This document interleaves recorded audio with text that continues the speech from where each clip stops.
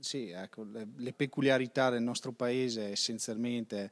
eh, sono la, il, l'enogastronomia, per esempio i bogoni, le lumache, sono famose diciamo un po' in tutto il Veneto e abbiamo l'antica fiera dei bogoni all'ultima domenica di novembre che è frequentata anche da, da, migliaia, da 2-3 mila persone quando è svolta.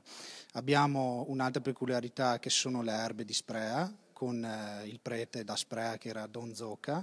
e che curava grazie diciamo, a queste erbe negli anni 40-50 eh, tutta la popolazione, è citato bene o male in tutta la provincia in quel tempo e ancora adesso abbiamo l'erbecedario che eh, coltiva nel giardino botanico eh, le erbe che, e che produce e che rivende diciamo, con mezzi eh, sia con il negozio presente sulla frazione di Sprea e, e sia online, quindi diciamo, il discorso rete è importante anche per noi. E infine abbiamo eh, il, ehm, l'Ecomuseo della Lessinia che si trova presso la casa di Pepper di Sant'Andrea che sta cercando da qualche anno di canalizzare un po' tutto il turismo della Lessinia, quindi non solo di Badia Calavena, per cercare di, di creare dei pacchetti turistici che possono aiutare eh, appunto non solamente il nostro paese ma tutti i comuni con cui confiniamo. Su cosa si sta concentrando l'amministrazione locale? Ehm, a livello di progetti, di novità per migliorare e rendere più efficiente il comune. E il comune di Badia è sempre stato attento alle fonti rinnovabili. Eh, abbiamo il primo impianto macroeolico eh, presente in Veneto e mm, eh, le scuole e il comune e la biblioteca funzionano con impianto biomassa. E ora noi eh, cercheremo di mh, procedere con questa eh, diciamo, politica energetica sostituendo i corpi illuminanti sia nelle strutture diciamo, pubbliche che eh, nei, nei pianti di illuminazione pubblica portandoli a LED. Ovviamente il nostro obiettivo, oltre che a risparmio energetico, è anche avere un risparmio economico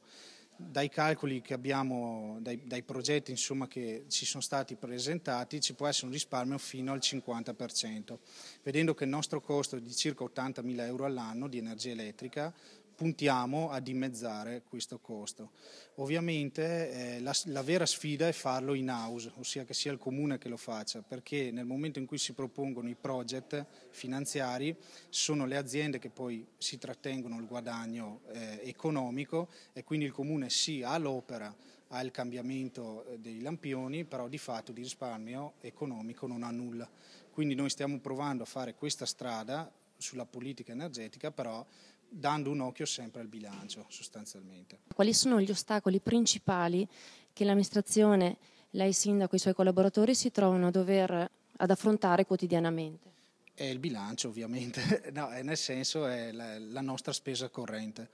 Sostanzialmente, eh, parlando col mio ragioniere Fatalità ieri, eh, abbiamo scoperto che il fondo di solidarietà, che è il fondo dove lo Stato centrale ti, ci trasferisce i fondi, ci ha tagliato altri 4.500 euro circa.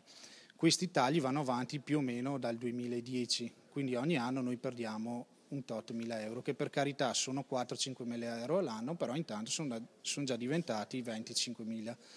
E quindi noi ci troviamo ad un taglio delle risorse, ad avere ovviamente aliquote IMU e tasi tolte, IMU bloccate. Noi abbiamo sempre avuto delle aliquote tra virgolette basse per agevolare sia chi ha le seconde case sia chi ha le imprese e quindi ci troviamo a, a avere difficoltà nella, nell'avere introiti. Quindi la, la, vera sfida nostra è appunto la spesa. E ovviamente il governo centrale in, in porta sta cercando di portare i comuni a, a, fondersi, tra virgolette, ad unirsi e, e, nello stesso tempo anche a dire cercate di razionalizzare la spesa ed è quello con, su cui noi stiamo lavorando, insomma, la razionalizzazione della spesa. Fare rete potrebbe portare solamente vantaggi e possibilità in più? Sì, eh, la rete tra comuni probabilmente nei prossimi anni sarà fondamentale e da quello che vedo diciamo, il disegno dello Stato centrale è appunto far eh, accorpare spontaneamente i, i, piccoli comuni come il nostro.